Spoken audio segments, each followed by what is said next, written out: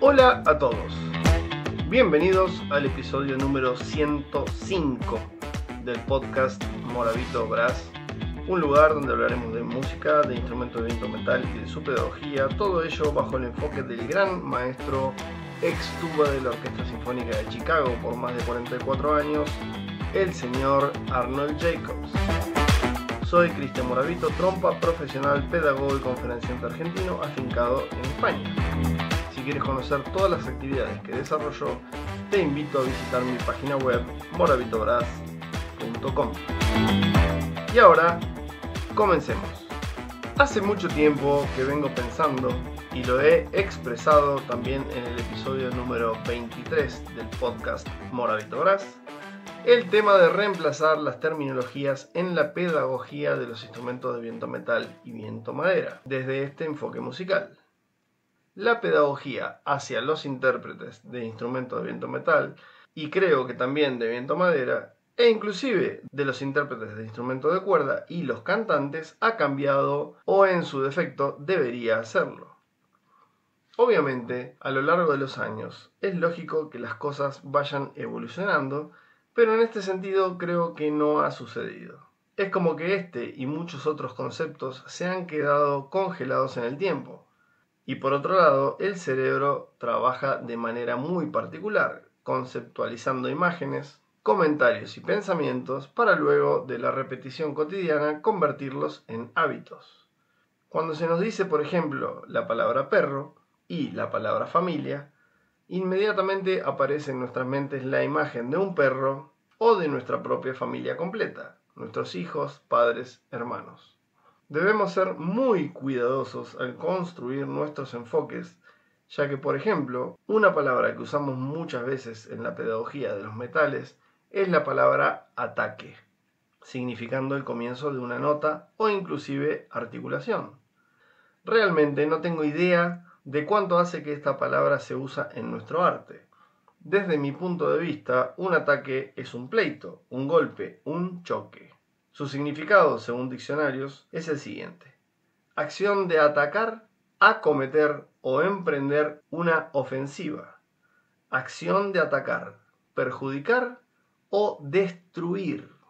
Creo que sería mucho más positivo, y esto es evidente, cambiarlo, por ejemplo, por la palabra articulación, impartir, vibración, producción sonora o solo comienzo del sonido.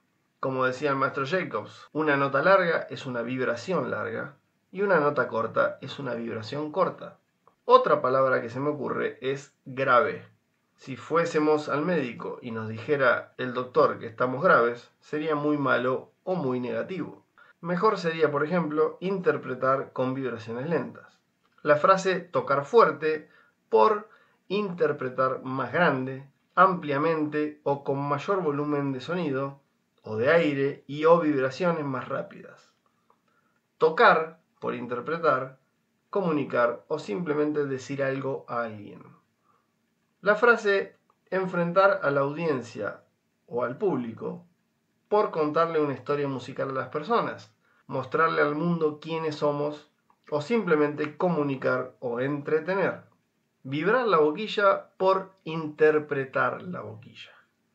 Desde este enfoque, creo que también sería sumamente necesario reemplazar el concepto de soporte o apoyo desde ser pensado como un tipo de tensión abdominal por flujo de aire y de vibraciones ya que la actividad muscular en nuestras zonas abdominales intercostales o inclusive en nuestra caja torácica deben ser consideradas una resultante y no un factor predominante para poder interpretar bien nuestros instrumentos en los diferentes registros. Venimos repitiendo y repitiendo conceptos que muchos de nuestros profesores han escuchado y han pasado a estas nuevas generaciones y muchas veces dichos profesores no se han tomado el tiempo de investigar, evaluar o simplemente leer para asegurarse de estar compartiendo buena información. Otra palabra que reemplazaría y que viene usándose desde hace mucho tiempo en las metodologías y pedagogías, sobre todo de los instrumentos de viento metal, es la palabra gym, que en inglés quiere decir gimnasio, ya que todo lo referido a gimnasio o gimnasia está altamente ligado a la fuerza Y como ya sabemos, la fuerza o la tensión y presión matan al sonido. Por eso mismo creo que nosotros no somos deportistas de élite, como muchos profesores, intérpretes e investigadores a menudo nos llaman. Aunque en cierto sentido realizamos actividades similares como entrenar o practicar diariamente, concentrarnos en el objetivo deseado y demás, pero en el sentido netamente físico, creo que no somos compatibles, ya que el deportista utiliza grupos musculares grandes, cuádriceps, bíceps, tríceps, que entrenándolos se fortalecen y crecen, nosotros, los artistas de instrumentos musicales de viento metal, usamos nuestros labios, grupos musculares pequeños, tejidos musculares, músculos individuales, membrana, etc., que se fortalecen, pero que muchos de ellos no crecen en tamaño. Si muevo mi brazo con una mancuerna o mis cuádriceps con una máquina en el gimnasio, todos esos músculos van a aumentar de tamaño. Ahora, si muevo mis labios hacia adelante y hacia atrás, como diciendo mu, y beso mucho a mis hijos y a mi esposa, mis labios no van a modificar su tamaño con el tiempo. Una cosa es la fuerza mental, mentalización o conceptualización que todos debemos tener y hacer crecer cotidianamente desde tener pensamientos cada vez más claros. Y otra es la fuerza física, que no es necesaria en este enfoque como actividad primordial para poder vibrar un par de labios, como decía el gran maestro Arnold Jacobs.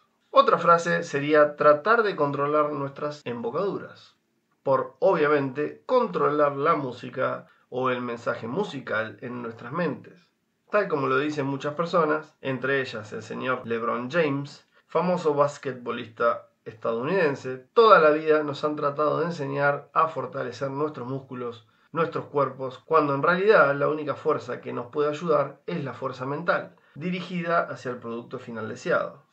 Recuerdo que cuando era más joven, como cuando tenía 18 o 20 años de edad, jugaba un partido de fútbol de 45 minutos por otros 45 minutos y luego de este partido, si el equipo que seguía necesitaba un jugador extra, yo me ofrecía y jugaba otro partido en el día.